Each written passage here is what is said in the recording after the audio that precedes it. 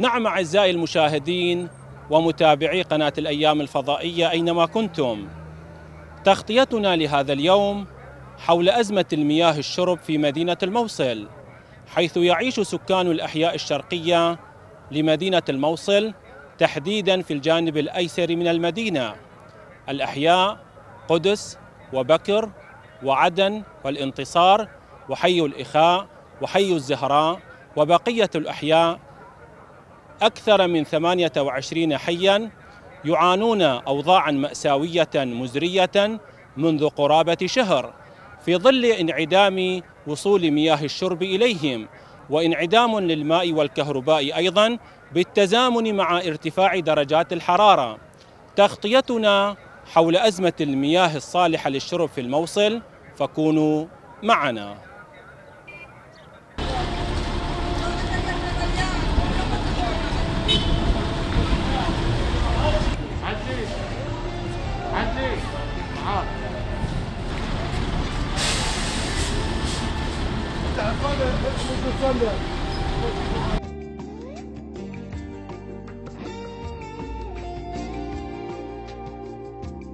آه نعم مشاهدينا الكرام ومتابعينا الأفاضل. آه تغطيتنا حول أزمة المياه هنا في مدينة الموصل وبالتحديد في الجانب الأيسر من المدينة سوف نلتقي بالمواطنين لكي يضعون في التفاصيل أكثر حول أزمة المياه على مدى أكثر من شهر. أحياء. الانتصار وعدن وبقية الأحياء السكنية في الجهه الشرقيه من الموصل يعانون من أزمة المياه الصالح للشرب. نعم سلام عليكم. عليكم السلام أستاذ العزيز. عن أزمة الماء حاليا اللي تعصف بجانب بالأيسر من الموصل. والله أستاذ العزيز اليوم إحنا كملنا سنة سادسة بعد التحرير ولا تزال حكومتنا يعني عاجزة عن توصيل المياه إلى يعني بعض من الأحياء في داخل الموصل.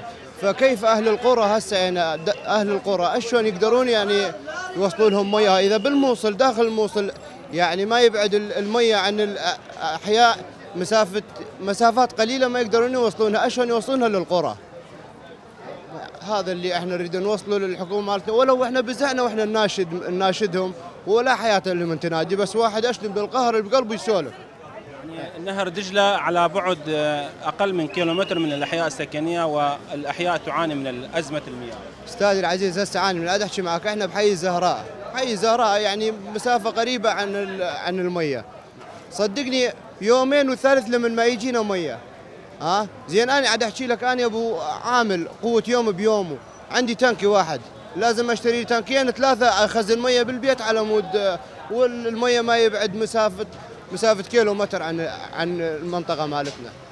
حاليا أغلب العوائل ملتجين إلى حفر الآبار. والله أستاذ حفر الآبار يفيد لل, لل... اسمه للغسيل تشطف ال- البيت بي أو هذا. ما يصل... ما صالح ما صالح للشرب هو ال... ال... الآبار. وبعدين ال- الفقير اللي يجي يجيب حفاره 300000 هم 300000 ها؟ 300000 ينطي؟ ماكو يعني. هم ليش يخلونا نلجأ إلى وسائل ليش ما هم يسوون لنا هاي الشغلات البسيطة؟ آه، إيش كم حي حاليا بالموصل تعاني من هاي الأزمة؟ والله أحياء أحياء الموصل ال- ال- الأيمن الأيمن ثلاث أرباعه والأيسر ربعه. الأحياء المر مر مرغوبة حي, حي النور على هاي الزهور هذول عبال ما ينقطع عنهم المياه نهائيا. لا والله كلها مقطوعة مو. حق شمحي والله إيه. كلها. عامة. إيه ف يعني هسه أنا أحكي لك هسه تسأل أه، عشرات يقولوا لك نفس الكلام اللي أنا قاعد أقول لك إياه. أزمة الماء بالإضافة إلى أزمة الكهرب. أزمة الكهرباء أزمة الكهرباء يشغلوا آه، ثلاث ساعات ويطفي ثلاث ساعات. يعني مت- متفقين هم وأهل المولدات. أهل المولدات يجمعون الاشتراك منين؟ يصير الوطني مرات يسوون أربعة بأربعة وثلاثة بثلاثة. يعني يصير ثل- ثلاثة بثلاثه ما عبالك متفقين هم وأهل المولدات. جماعة الماء ومجاري يقولون بأن هناك انخفاض في نسبة المياه لنهر دجلة. هل هذا السبب مقنع؟ صديقي هسه يعني ال- الميه المية مال والله غير صالح للشرب. يعني أكثر أكثر العالم عاد تت- عاد تتجه للمي المي المقطر زين اللي عنده يشتري مي مقطر والفقير اللي ما عنده شيء يشتري مي هذا كله دود وكله آه، كله والله يعني ما تعطي لل- للحيوان. أجلك الله. نعم شكرا جزيلا.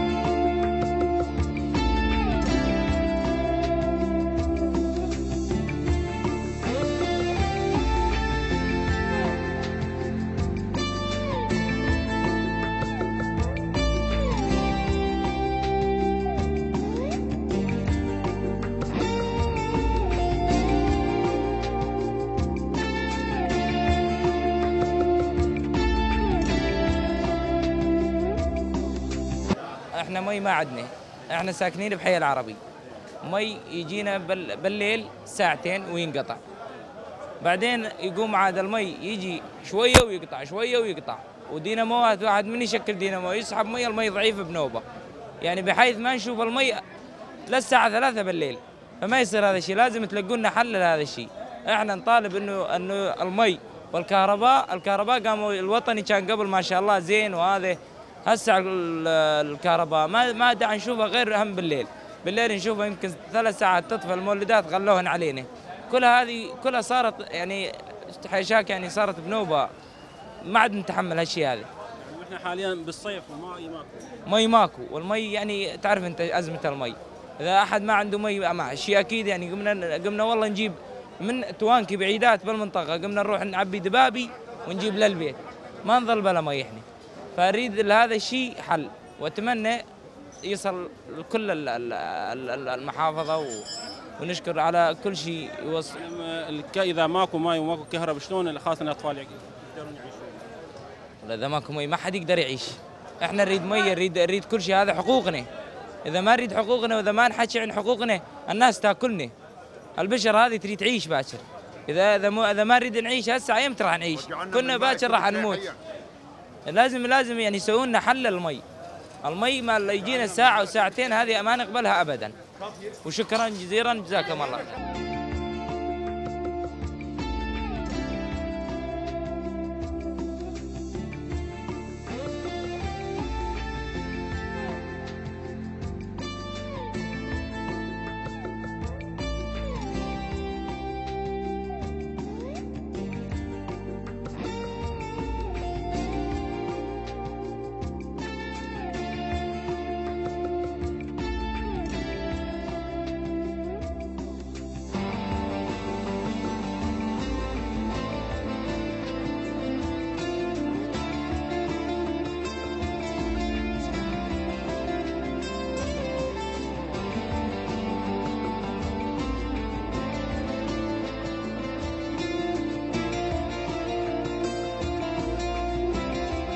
باسم أهالي نينوى وباسم كل الأحياء أطراف نينوى أطراف مدينة الموصل ناشد الحكومة العراقية أن تتدخل فورا لحل الإزمة لأن اليوم محافظة نينوى تعاني معاناة شديدة. هذه الأحياء وأغلبها وأعظمها أحياء فقيرة جدا وناس بسطاء.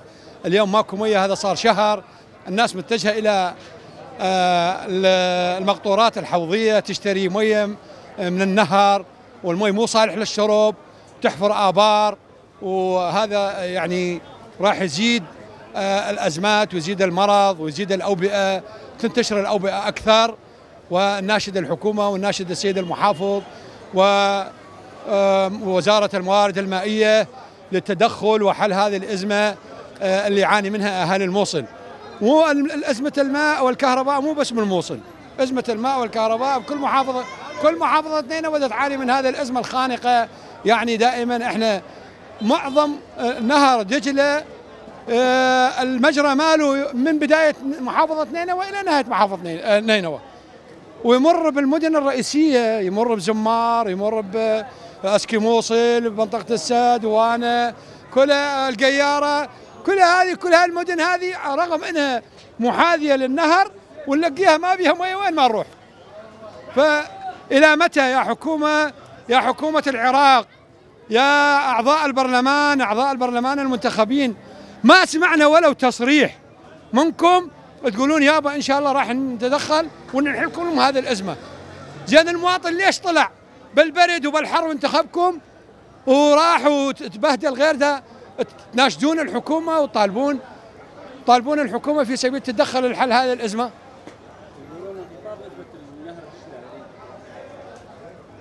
أستاذ العزيز إحنا بالنسبة لنا كدولة العراق اليوم برميل النفط دا ينباع عن 127 دولار. اليوم عندنا واردات زائدة وفائضة عن الميزانية. وانخفاض منسوب المياه مو ما له علاقة بتوفير المياه للمواطنين، الدولة مجبورة أن توفر المياه للمواطن وبكل الأحوال، أكو دول الان دول صحراء بل عايشه بالصحراء. دول الخليج معظمها مناطق صحراء قاحلة، ده توفر المياه لمواطنينها واحسن المياه تجيهم. ليش إحنا على محاذاة النهر وماكو ميه شكرا جزيلا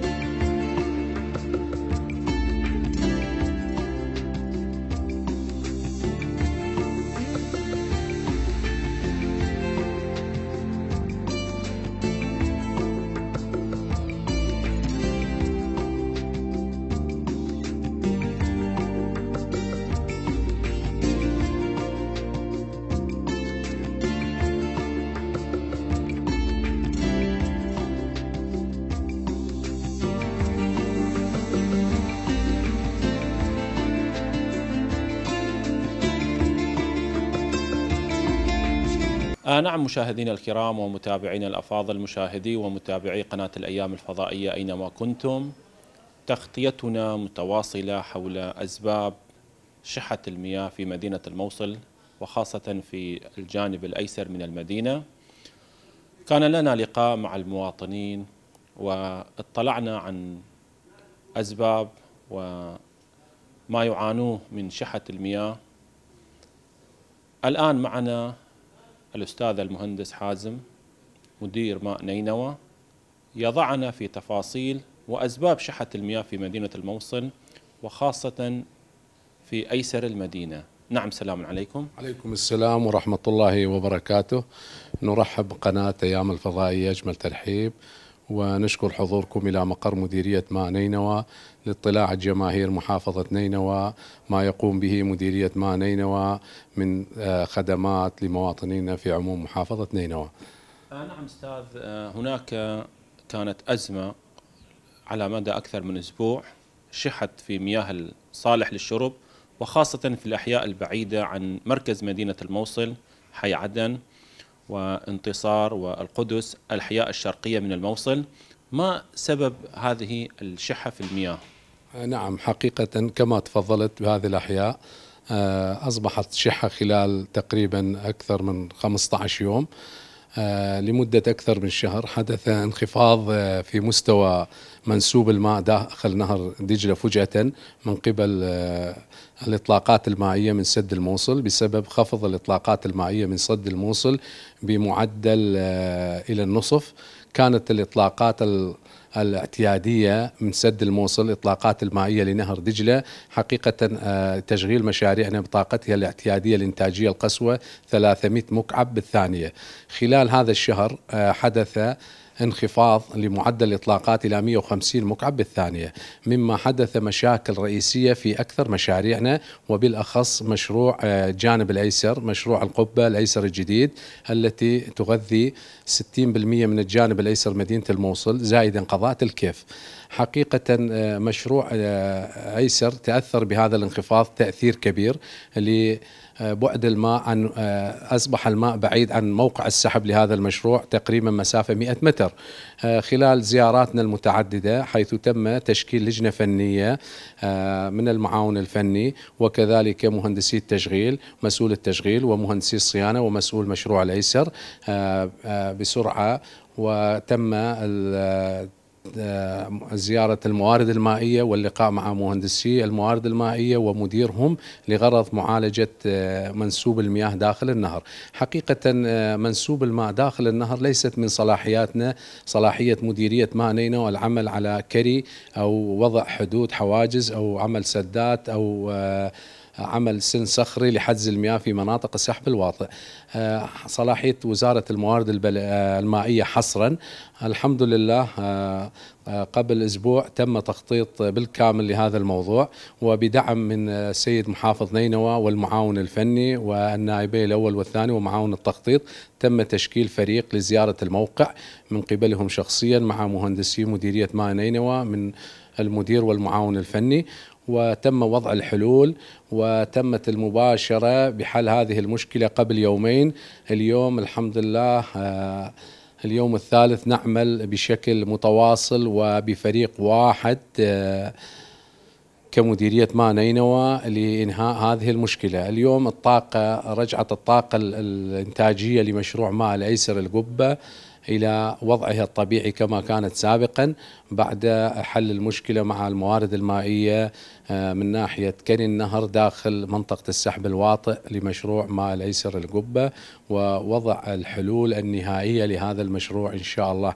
اليوم طاقة المشروع تعمل بشكل آه، جيد وبإنتاجية القسوة حيث كانت تعمل قبل هذه الفترة آه، أربعة غو... آه، ست غواطس من مجموع 12 غاطس اليوم تم تشغيل عشرة غواطس ويتم إنتاج الماء بشكل كامل.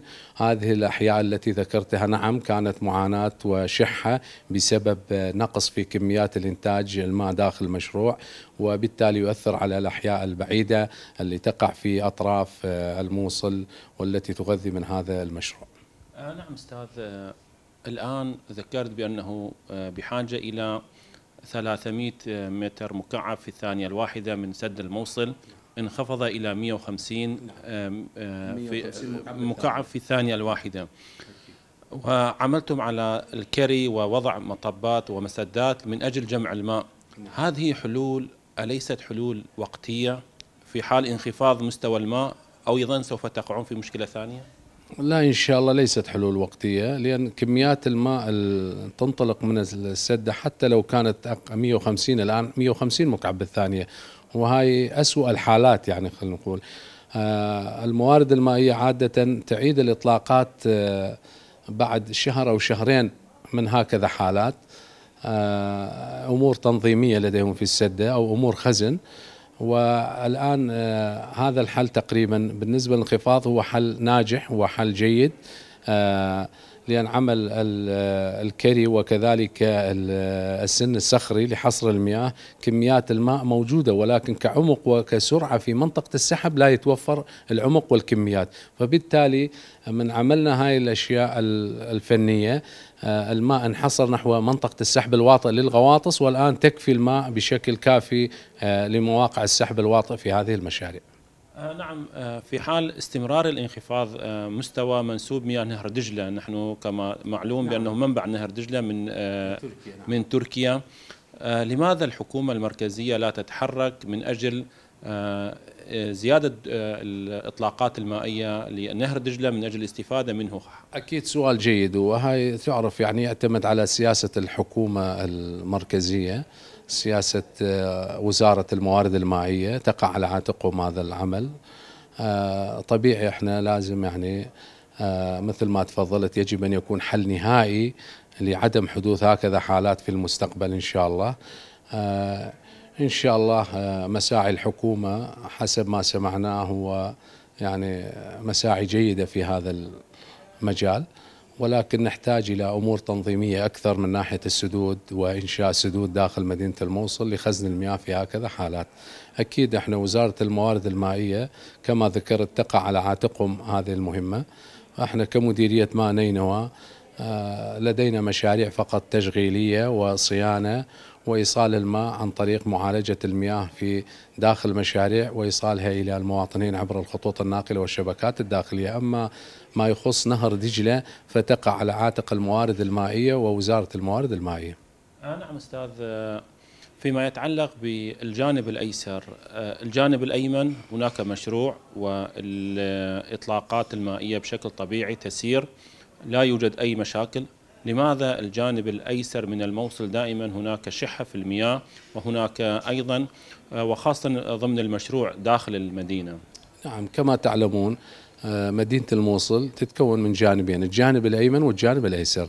مشاريع الجانب الأيمن حقيقة مشاريع آه، تكفي إنتاجيتها أكثر من آه، 50% زيادة عن حاجة السكان.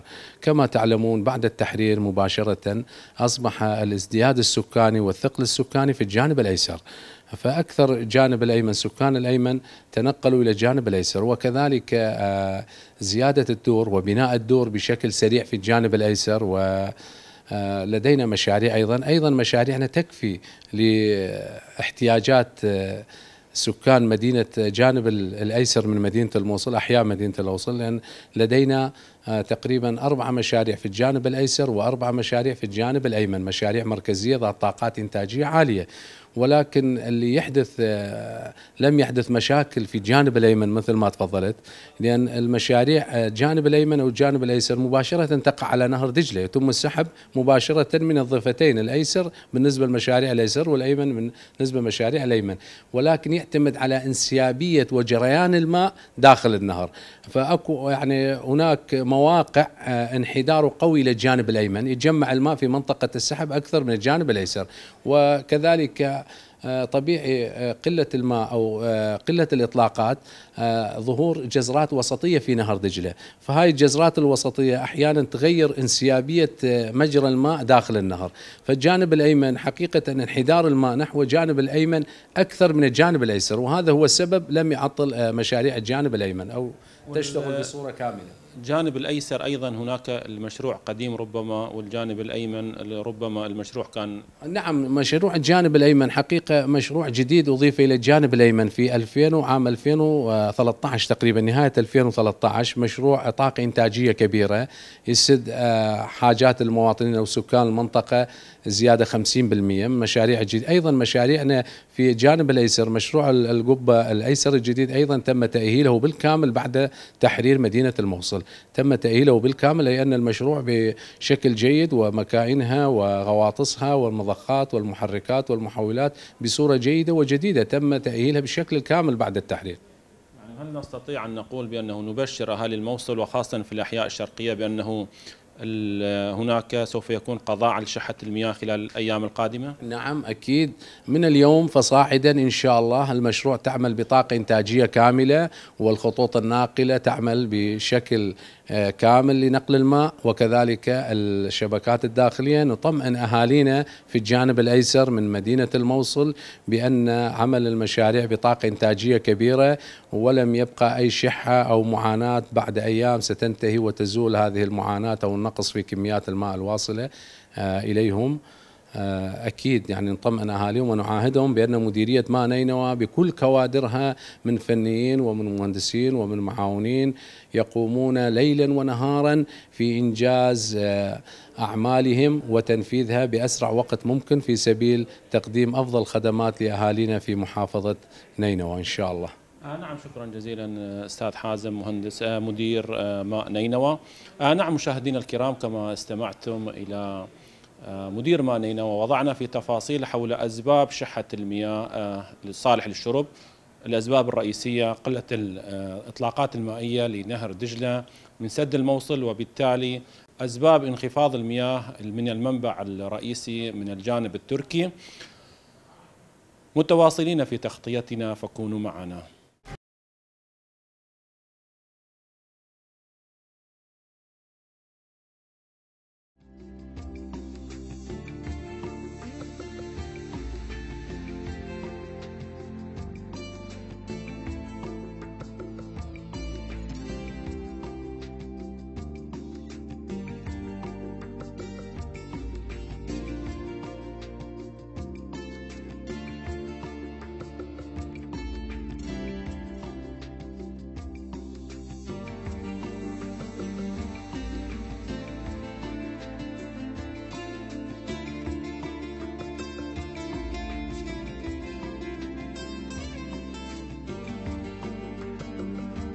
آه نعم مشاهدينا الكرام ومتابعينا الأفاضل مشاهدي ومتابعي قناة الأيام الفضائية.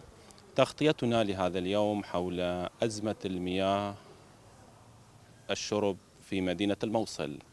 أزمة خانقة تعانيه أغلب الأحياء السكنية وخاصة في أيسر المدينة. آه معنا الآن أستاذ صالح الجبوري. سوف يتحدث لنا عن الأزمة وكذلك أسباب الأزمة ودواعي الأزمة وهل هناك حلول حول ذلك؟ آه نعم السلام عليكم. عليكم السلام ورحمة الله وبركاته. تكلم عن أزمة حاليا آه تعانيه مدينة الموصل أزمة المياه. نعم. بسم الله الرحمن الرحيم. تعاني محافظة نينوى مجموعة من الأزمات الخانقة في هذه آه، الأيام الصيفية الحارة جدا والتي ترتفع درجة الحرارة فيها إلى منتصف الأربعينات. وللأسف الشديد أهم هذه أو من أهم هذه الأزمات هي آه، أزمة شح المياه في محافظة نينوى حيث أن آه، معظم محافظة نينوى تعاني من أزمة قوية جدا وربما شح في تجهيز المياه إلى الدور السكنية في معظم أحياء محافظة نينوى منها الانتصار منها القدس منها آه، السكر منها آه، البلديات منها آه، أكثر محافظات نينوى أكثر أحياء محافظة نينوى تعاني من أزمة شديدة في هذه المياه.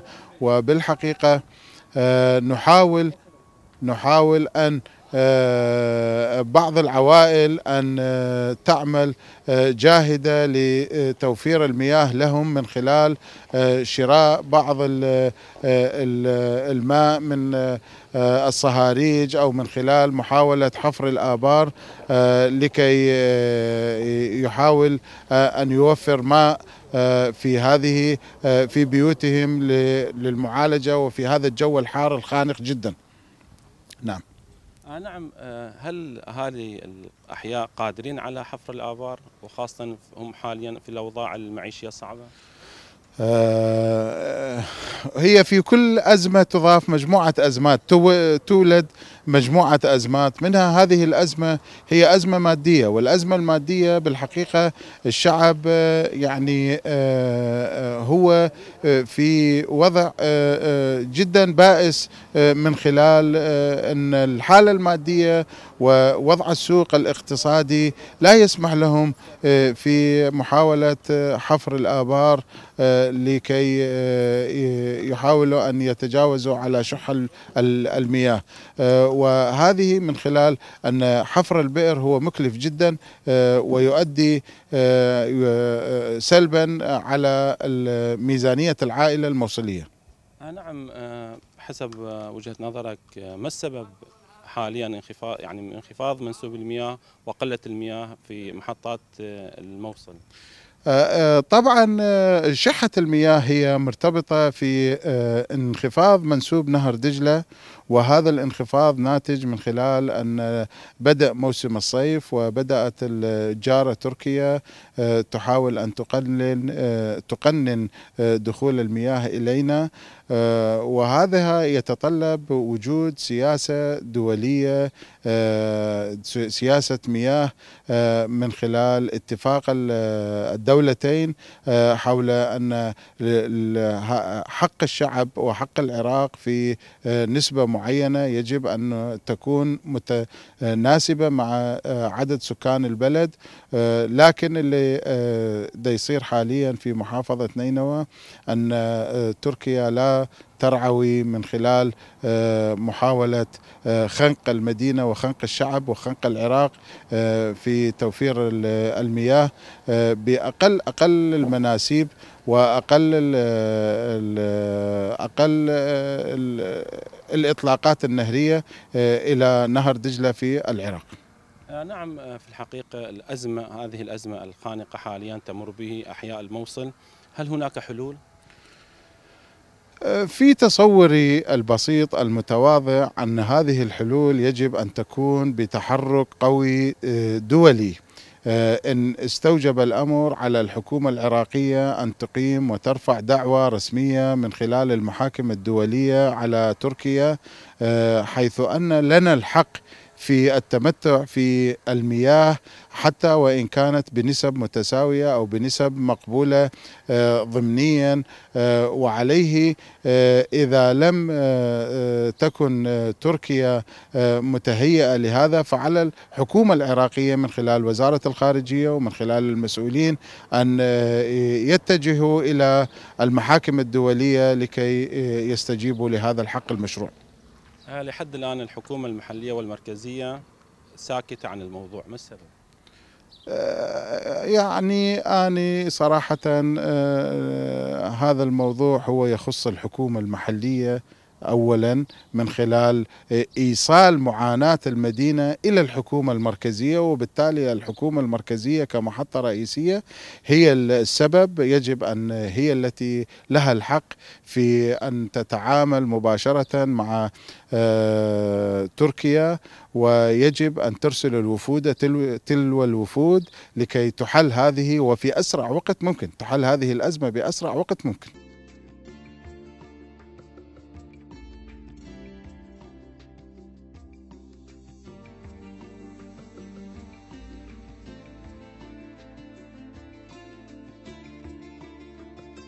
والله حي الانتصار بالنسبة لحي الانتصار مهملة بشكل ما طبيعي يعني.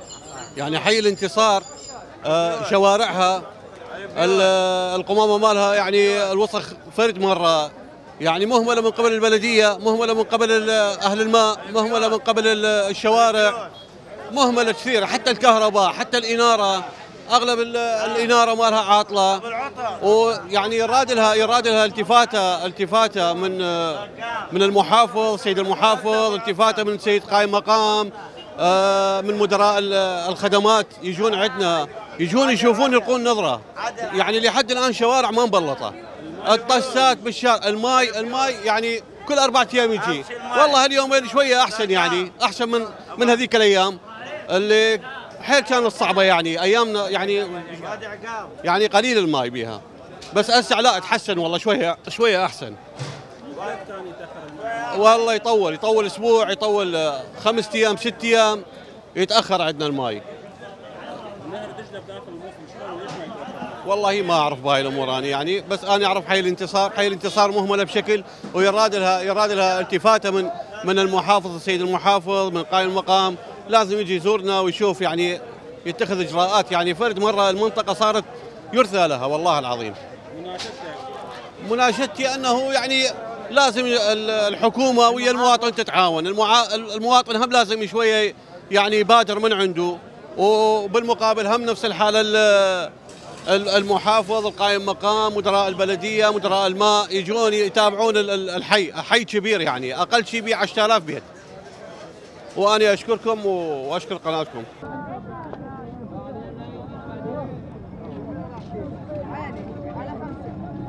يلا تعالوا تنزيلات تعالوا.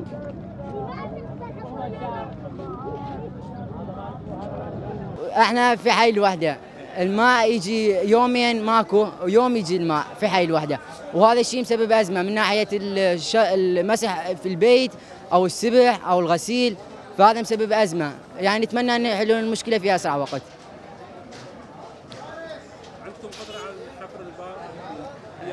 نعم نعم. عندنا قدرة وحفرنا بير وهذا الشيء يعني البير حفرناه وراها بكم شهر أو بعد سنة نسد البير من حاله يعني.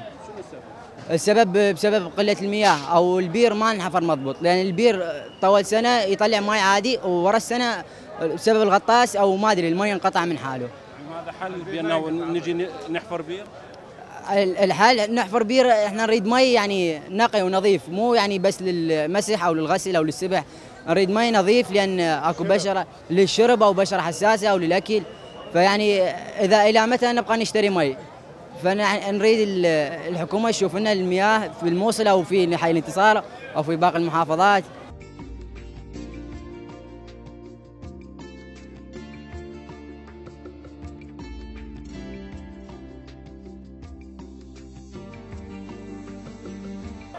معاناتي بأن لا لا عندي بيت ولا عندي راتب وقاعد بمكان يعني ما تتوقع بها ملعب خرابة بس عندي كرفون قاعد بينه.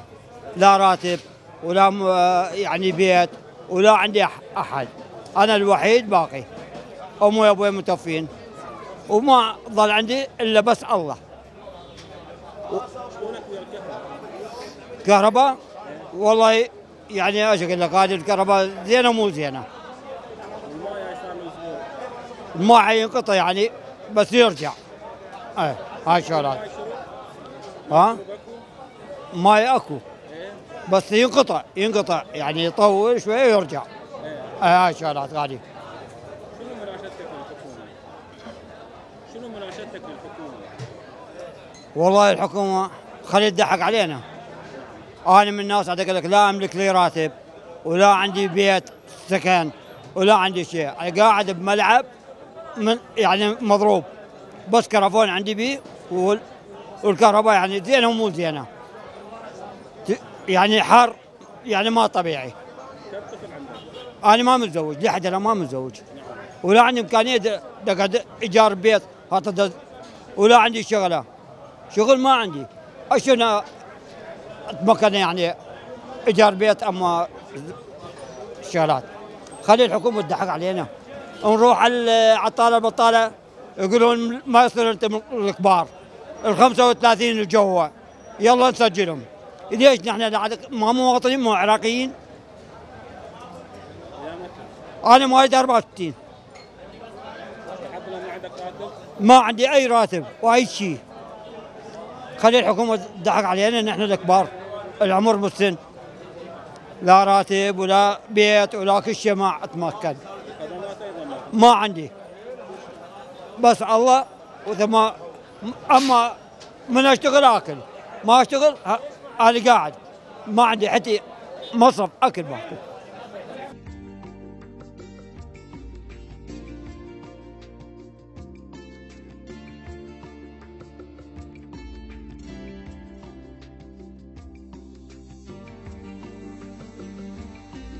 السدود التي أقامتها تركيا على نهري دجلة والفرات أثرت كثيرا في شحة المياه هنا في مدينة الموصل وحيث أثرت بشكل كبير على حياة الناس بينما الحكومتين المحلية والمركزية في غفلة من الأمر ولم تتخذان أي خطوة لحل المعضلة.